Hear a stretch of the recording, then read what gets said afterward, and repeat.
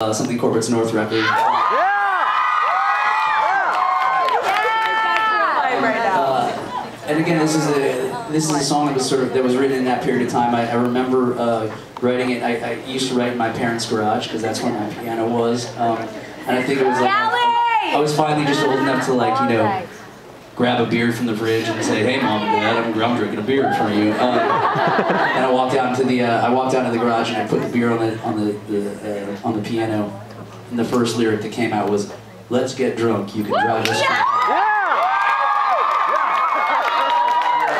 It seemed like as good a thought as any at the time. So uh, this one's called Down. Uh,